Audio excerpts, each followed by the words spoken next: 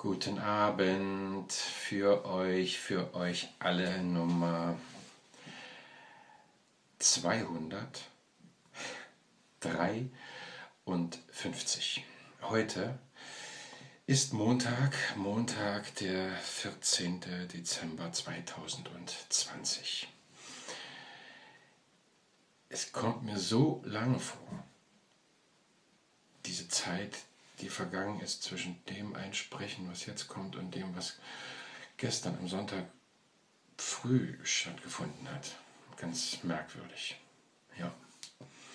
Und da gab es ja äh, ein Nachtrag, ein Adventsgedicht, und das war natürlich von Rainer Maria Rilke.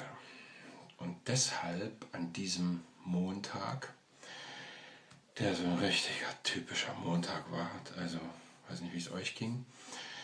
Und deshalb muss ich meine Petition wirklich schleunigst auf den Weg bringen, dass dieser Montag noch zum Wochenende dazugehört.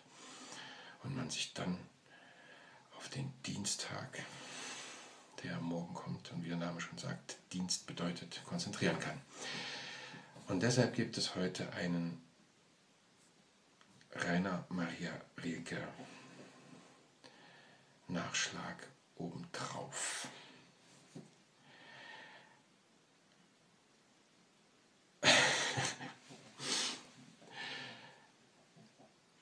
Sage mir keiner, dass ich die Gegenwart nicht liebe.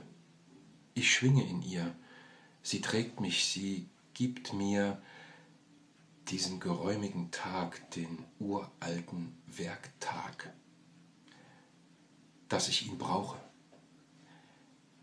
Ihre Hand ist stark über mir und wenn sie im Schicksal unten mich hielte, vertaucht. Ich müsste versuchen, unten zu atmen.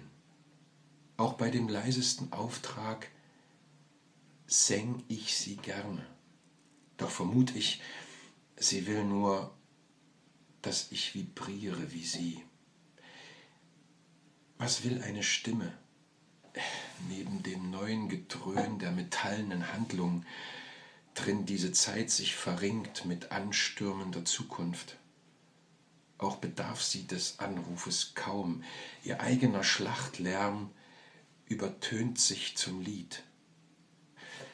So lasst mich so lange vor Vergehendem stehen, anklagend nicht, aber noch einmal bewundernd und wo mich eines, das mir vor Augen versinkt, etwa zur Klage bewegt, sei es kein Vorwurf für euch. Sehet, es wäre arg um das Große bestellt, wenn es irgend der Schonung bedürfte.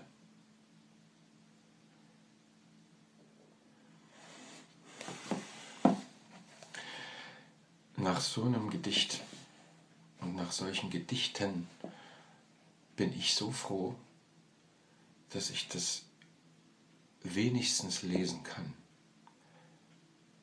Schreiben könnte ich es nie. Aber Gott sei Dank hat es Rainer Maria Rilke aufgeschrieben. Ich wünsche euch